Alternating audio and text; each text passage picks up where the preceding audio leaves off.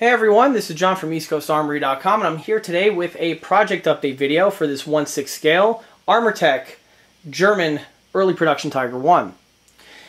Since the last video update, the last of the engine compartment detailing has been added and I've also been mounting in many of the mechanical and electrical components in order to get this guy up and running and fully mechanically sound. We'll be going over these additions in this video. The last detailing needs to be added to the fan compartment in order to finish it off are the air intake grills. Now, if anyone is a fan of my YouTube channel and seen many of my other 1/6 scale Tiger 1 videos, you'll know that the Tiger 1 on the rear engine of the engine deck features a large metal air duct which funnels air through the grills and into the radiator and then out through the fan work. These ducts here, in addition to aiding the airflow also act as a standoff protection for the main fuel tanks which are located directly underneath these fan ducts that we have here. Now, in the past, the fan ducts are, aren't anything new. In fact, I've been adding them to 1/6 scale Tiger 1s and had them listed on the catalog for a period of time. However, those versions were made from sheet metal that were all hand-built and soldered together in order to form the shapes that we see here rather than using that medium, I went ahead and designed and retooled these components and replacing the sheet metal ones with these new sets here which are made from 3D printings. The 3D printings have several advantages as opposed to the sheet metal ones. First and foremost, they require a lot less work for me to prep and get them installed. The other units had to be scratch built by hand each time. Now keep in mind that there are left and right hand units for these pieces this does require a lot of time and a lot of effort in order to prepare these parts. With the pieces being 3D printed, this is no longer an issue. The 3D printings are also a lot more durable compared to the sheet metal ones and are far less frail and fragile compared to the thin sheet metal, which is then all again soldered together for its main assembly. Now, these units here have been added to the EastCoastArmory.com product line and have fully replaced the sheet metal ones which were on there for a number of years. The sheet metal units are now completely out of production and are no longer going to be fabricated. Because of the materials that these are made in, the costs are also considerably less compared to the sheet metal versions, which were listed on the catalog and almost double the price of the 3D printed counterparts that we have here on the table. Another advantage about the, the 3D printed parts is their consistency. The other pieces, even though are handmade with the use of templates, there are several variations with size due to, again, the handmade nature. With the 3D printed technology, this is no longer an issue and is definitely not something that needs to be contended with. Each unit is to the exact same size and it is done in a repeatable manner. Here we have the one air duct as you notice, the entire unit is one entire complete printing. There are no separate parts that need to be glued on in order to get the piece to the condition you see here. These pieces are ready to go for installation directly out of box. The only thing that I'm going to do before the installation is, of course, pre-paint and prime these units. We have here the center support, which on the real unit would connect to the fan grills, which are located, of course, on the top. It has its support legs, again, all integrally printed. We have here the little cutouts, which are present on the ducts, and the center spindle is supported on that of a small little shelf. On the one corner, there is another small little shelf. This is, again, as per my drawings for the Tiger 1. Moving towards the top portion here of the duct, we have here a protective wall. And on the real tank here, this is where the fuel filler spout would be for that of the fuel tank. Now on the model here, just like with most of my 1-6 scale radio control builds, this section here is going to be dedicated to that of refueling of the smoke system, but this will be discussed in further detail either in this video or in a in, a, in another video which should be posted shortly after this one. Now, like I said before, the units are right and left hand specific. The difference, of course, is being the small little shelf that we have here on the corner. If we notice they aren't they are a mirror image of each other and are on opposite sides. These units now will go into their painting and priming procedure and then from there they'll be mounted to the tank. And here are the same ducts now, fully painted and weathered and are ready for installation. As for the painting and weathering, I'm, I utilize my typical format. For the color, it's primer red. From what I've seen, primer red are the color that these ducts as also the upper fuel tanks tend to be left in. And as for the weathering, this is just all done with that of my airbrush. At this point now, they can be mounted to the tank. And here are the ducts now mounted to the tank. As for the mounting, these are installed via silicone and to for use as spacers, the material that was used was that of very thin sheets of styrofoam.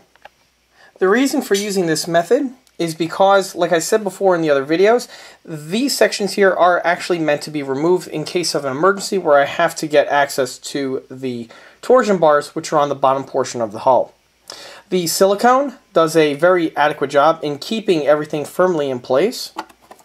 They're not just going to pop off at any sudden jolt or vibration from the tank, but are temporary enough where with a good heave, good deliberate heave I should say, will overcome the adhesives and the pieces will rip out. As for the, the use of styrofoam, the styrofoam is used as a spacer and keeps the piece in this hovered state that I have here. You'll notice that it is insulated on both of the sides where the duct makes contact with that of the rear bulkhead. And the piece is actually elevated and is actually sitting above the floor with again that of the silicone and the styrofoam. Now to put things in perspective, on the real Tiger 1, the ducts are actually connected to that of the fan grills. And on the real tank, this whole the whole fan grill and duct unit would be one drop-in installation piece.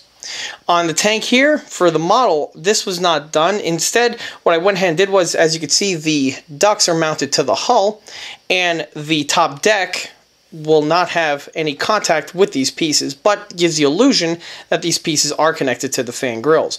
The reason for that has to do with the top deck needing to be removable, being a RC tank. If these sections here were connected to the grills, which are permanently mounted to the top deck, this would be problematic and lead to some issues. By doing it this way, this does simplify the build immensely, but it does still give you the visual effect of having the the ducts connected to the grills once everything is mounted in place. And to get an idea of what I was referring to, here I have the rear panel of the top deck temporarily placed over the engine compartment. Here you can see what the duct looks like without the, the grill work present. As you can see, it has the perfect clearance for that of the top deck. And on this side here, we have one of the grills temporarily placed in its appropriate location. Hopefully, if the lighting comes through on camera, you can see the grill work directly through the, or I should say the duct work directly through the grill work. With this setup, you get to see how the illusion is placed where it looks like that the duct and the grill are one complete housing instead of the two-piece arrangement that I have designed on the model. Moving from the fan ducts takes us to the last of the detailing added to the engine compartment, which has to do with these two control rods that we have here. These two rods are a feature found exclusively on the HL210 engine, and this has to do with that of the snorkeling capability. The early Tiger 1, as I've stated before, one of the features that it had was the ability to snorkel and ford through a river. Now, like I said before, the fan areas would actually free flood and would be drained out after the vehicle makes it to shore on the opposite side. As for the fan compartments themselves, because you don't want to have the fans running when the vehicle is submersed, the fans would be turned off. Now, the fans are not electrically controlled on the real tank. They are mechanically controlled via this elaborate clutch mechanism that we have here. Now, in order to prevent the fans from turning, these can be manually disengaged via these two control arms. These arms connect to levers on the inside of the tank, and with a flick of a lever, this would actuate this clutch system here, which would prevent the fans from moving, and the, the fan gearbox will just simply spin inside the engine compartment without it making contact with that of the fan mechanisms. The detailing that you see here was missing in the last video, and I was waiting for these small little universal joints to be 3D printed in order for them to be mounted to this tank. After the engine compartment was wrapped, the next area to focus on was that of the electronic and the mechanical components. Now, it's important to point out that the state that you see the model here is very, very, very early and is going to start getting much more organized and cleaned out as the interior components start getting fleshed. Right now, what we see, though, are the two following systems. We have here the smoke system, and we have here the main power distribution box. In addition to the smoke system and the main power box, the batteries have also been fully strapped in and are now one with the tank at this point. The work that went into the batteries include that of fabrication of that of the jacks. This includes that for the connection to the main power and also the recharge jack which will allow you to recharge the tank once the model is fully completed and this is done via the an outside source. We can also see that the batteries have protective boots added to the terminals. This is something that is highly recommended for anyone who's building anything like this, as having exposed leads like this is a sure bet way to cause a nasty short circuit, which with a model with very expensive electronics is definitely something that you don't want to do. As for the model smoke system, this is the same unit that was mentioned and highlighted in an earlier project update video. At this point here, it has been mounted permanently to that of the subfloor, which was also mentioned in a, another video. The smoke system is patched into this Y connector here, which then runs on the inside portion of the exhaust manifold tubes, which were showcased again in another video, which were on this model here were molded hollow for this exact same purpose. The smoke then runs through them, then out to the smoke manifold, which then they will be emitted in these two locations over here. Now, as for this blue tube that we have here, this here is going to be used for the smoke system refueling mechanism, and I'm going to be going over more in detail on this in the next video update when this system is going to be fully completed and functional.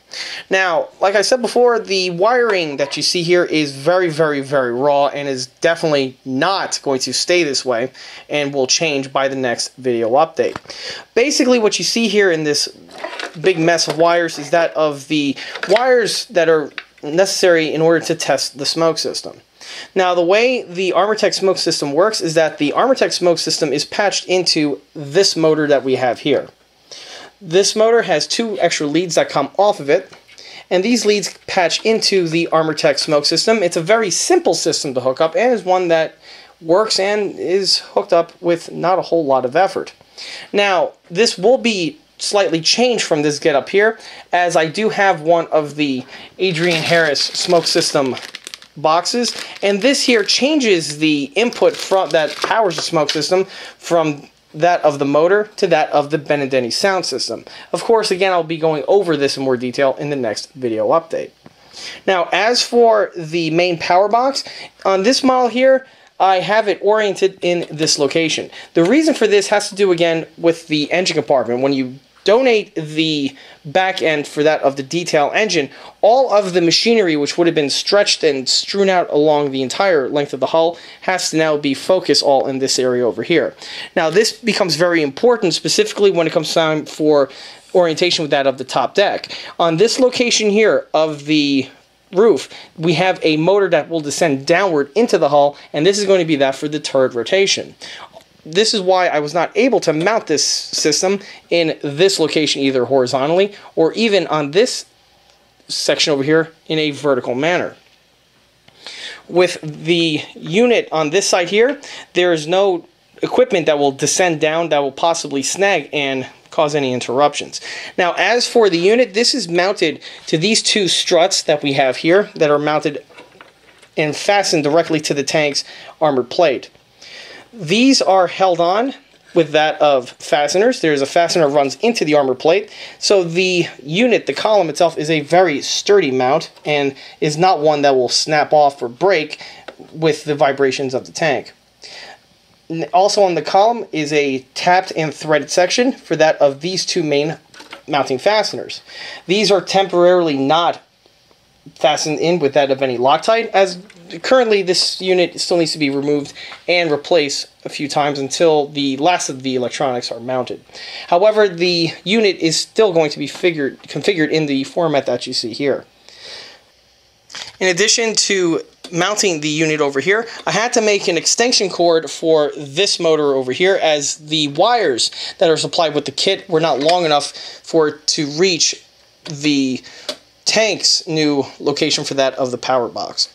The wires were fabricated out of two lengths of wire which are the same gauge of the original Armortek ones and are simply patched in. There's no extra soldering required. I just made two new jacks and the pieces just dropped in with the exact same method as they would with the out-of-the-box unit. Now moving from the power box takes us to some of the speakers. The sound system is the next bit of equipment that's going to be mounted. And this is going to have two speakers as well as the main audio amplifier box.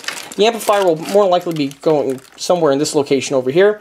One of the speakers will be mounted here in the front, straddling the two motors, and the other speaker will go over here on the hull, pointing backward and upward so that the sound emits from the grill work. Now, because of the quality of speakers that this kit has, there's not going to be any problems with that of the actual sound system being able to be heard on the outside portion of the tank, as these speakers are very powerful. And if anyone watches my other videos where I have these the sound system configured, you'll see that the, the, that the sound gets picked up by the microphone on the camera as well as in person with not a whole lot of effort. To test the smoke system, currently the tank and the radio are both on, and when I give the tank some throttle, you're going to hear the fan actuate and it's going to blow the smoke from the stacks. Now, obviously, there's not going to be any engine noise because the sound system is not yet hooked up.